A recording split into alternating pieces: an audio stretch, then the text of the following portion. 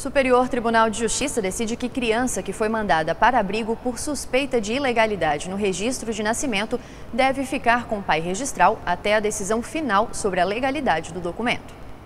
A Justiça havia determinado a busca e apreensão e o acolhimento institucional de uma criança de 11 meses de idade que estava sob o cuidado do pai registral e da companheira.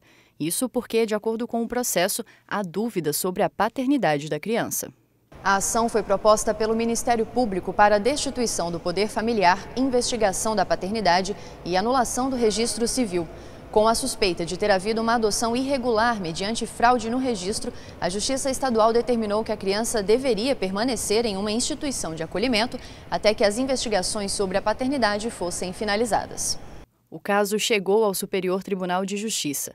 Ao determinar que o bebê deve ficar com o pai registral até o final do processo, o relator, ministro Luiz Felipe Salomão, destacou que o Estatuto da Criança e do Adolescente exige a demonstração de evidências de ameaça, mostrando que a criança está em perigo físico ou psíquico. Para o ministro, devem ser afastadas medidas que, embora pareçam atender ao caráter protetivo da lei, em certos casos criam um formalismo excessivo que prejudica o melhor interesse da criança. O ministro Luiz Felipe Salomão destacou também que transferir a guarda da criança primeiro para um abrigo e depois para outro casal cadastrado na lista de adoção poderia causar danos irreparáveis à formação da personalidade na fase mais vulnerável do ser humano.